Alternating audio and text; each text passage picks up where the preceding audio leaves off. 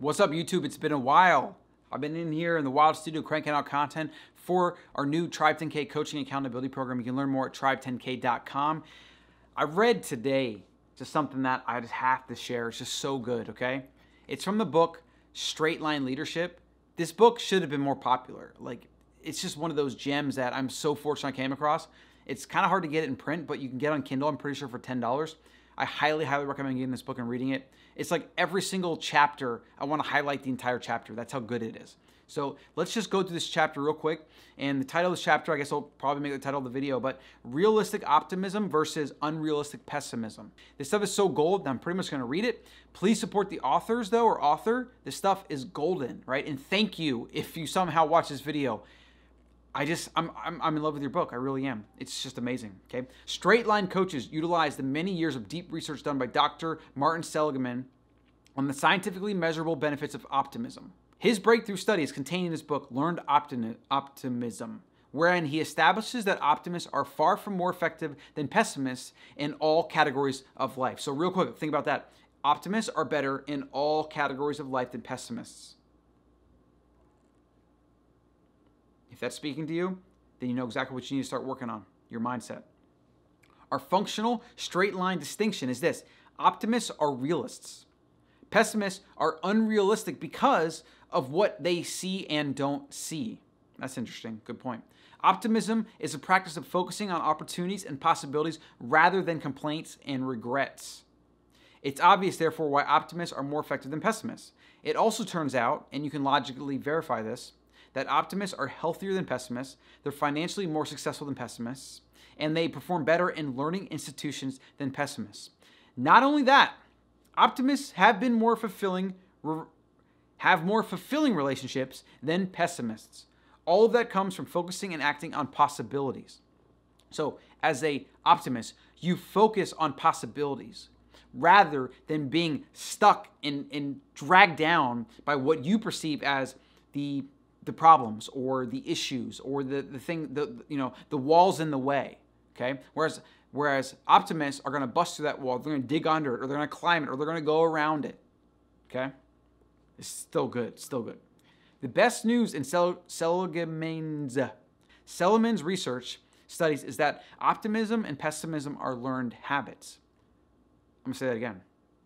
Optimism and pessimism are learned habits. Usually by the people around, and by your conditioning. So, no matter where you are in your life right now, if you wake up every single day super negative, you can change that. Okay? So, keep that in mind. You're not fixed. Also, if you're naturally optimistic and some bad shit happens in your life, you can definitely be pulled to the other end of the spectrum. So, something to be vigilant of at all times. They are not inherited. There is no gene for optimism. We create it as a deliberate habit. All humans behave largely according to habits, and these habits are developed through repetition. The habit of being realistic is the habit of seeing all possibilities. It's what an optimist does.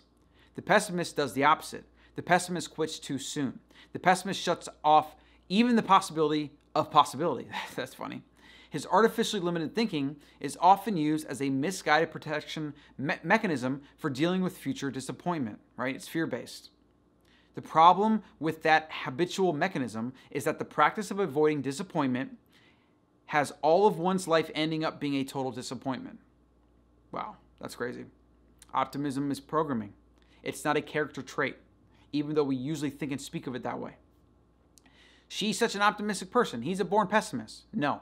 Optimism can be learned. It's a habit caused by repetition. Optimism repeats proactive, creative, accepting thoughts. When problems arise, the optimist asks, considering what I'm up to, what do I want to create with the situation? And there's a good quote here. When I open my eyes in the morning, I am not confronted by a world, but by a million possible worlds. Colin Wilson, spelled just like me.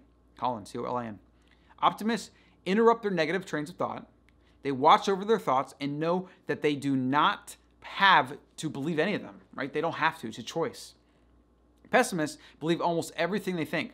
Once a gloomy thought occurs to a pessimist, he latches onto it and believes it as if it were the truth. Optimists challenge negative thoughts. They do not believe in them, right? So those thoughts come to your mind, the negative thoughts, and optimists challenge them. They don't just accept them as reality because they thought them. They don't have an attachment to, to them just because they thought them. They actively challenge, and that's part of being self aware, is to know that no matter what you view in the world, you should always be trying to re vet that information. Make sure that you're not being delusional to yourself, right? Asking yourself hard questions is, is this legitimate or is it not? That's part of being self aware.